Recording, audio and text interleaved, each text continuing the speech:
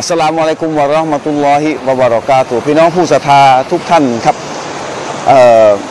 ในสังคมของเราสิ่งหนึ่งที่เรามักจะขาดหายไปก็คือเรื่องของการตักเตือน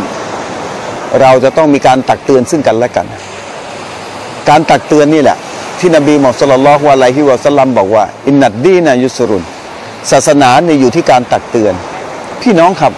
ถ้าในสังคมของเราไม่มีการตักเตือน ในสังคมของเรามีแต่การ ย่ำกันมีการไปด่ากันลับหลัง มีแต่การไม่ให้อภัยกัน มีแต่การไม่ได้บอกกับว่าเรามีความผิดหมดนะครับ ผมก็ผิด พี่น้องก็ผิด คนนู้นก็ผิดแล้วผิดด้วยกันทั้งสิ้น แต่สิ่งหนึ่งที่เป็นความผิดที่เราเห็น และเป็นหน้าที่ของเราที่เห็นเขาผิดก็คือนาซีฮะคือการตักเตือนครับ แต่วันนี้เนี่ยเราไม่ตักเตือน แล้วเสร็จแล้วเราก็ไปตำหนิคนอื่นตำหนิคนนั้นแหละ แทนที่จะไปบอกเขา แต่เรากลับไปลงเฟซเรากลับไปไปประจานลงเฟซกลับไปประจานลงอินเทอร์เน็ต กลับไปประจานลงเขียนเขียนเฟซบุ๊กด่าคนนั้นตำหนิคนนี้ อันนี้ไม่เรียกการตักเตือนครับ การตักเตือนก็คือการตักเตือนต่อหน้า ไม่ใช่การตักเตือนรับหลัง ซึ่งการตักเตือนรับหลังแม้ว่าจะเป็น การตักเตือนรับหลังที่ไปด่าเอ่อนำไปผ่าไปบอกกับคนอื่น ไปบอกใน Facebook อันนี้ไม่เรียกการตักเตือน การตักเตือนนั้นต้องต่อหน้าเท่านั้น และการตักเตือนนั้นจะต้องอยู่บนพื้นฐานของการบริสุทธิ์ใจเท่านั้นครับ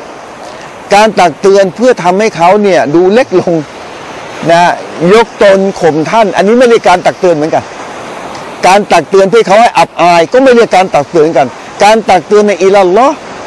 หน้าที่อัลลอฮ์ซุบฮานะฮูวะตาลา วันนี้เนี่ยการตักเตือนหน้าที่อัลลอฮ์นี่นะครับหมายถึงว่าเนียที่อัลลอฮ์ว่าเรานั้นได้เตือนเตือนเขาเพื่ออัลลอฮ์ไม่ใช่ตักเตือนเพื่ออื่นใด